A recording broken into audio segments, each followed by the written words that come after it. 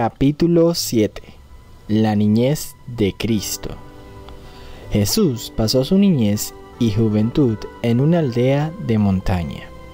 No había en la tierra lugar que no habría resultado honrado por su presencia. Habría sido un privilegio para los palacios reales recibirle como huésped. Pero él pasó por alto las mansiones de los ricos las cortes reales y los renombrados atrios del saber, para vivir en el obscuro y despreciado pueblo de Nazaret. Es admirable por su significado el breve relato de sus primeros años. El niño crecía y se fortalecía y se henchía de sabiduría, y la gracia de Dios era sobre él. En el resplandor del rostro de su Padre, Jesús crecía en sabiduría y en edad, y en gracia para con Dios y los hombres.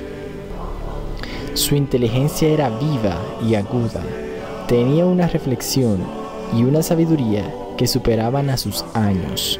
Sin embargo, su carácter era de hermosa simetría las facultades de su intelecto y de su cuerpo se desarrollaban gradualmente, en armonía con las leyes de la niñez.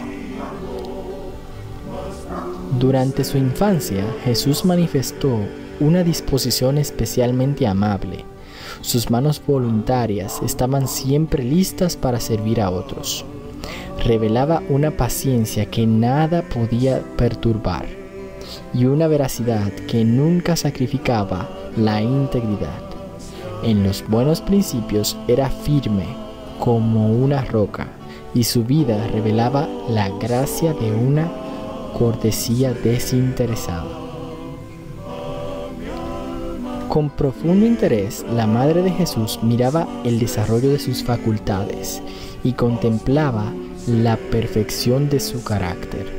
Con deleite trataba de estimular esa mentalidad inteligente y receptiva. Mediante el Espíritu Santo, recibió sabiduría para cooperar con los agentes celestiales en el desarrollo de este niño que no tenía otro padre que Dios.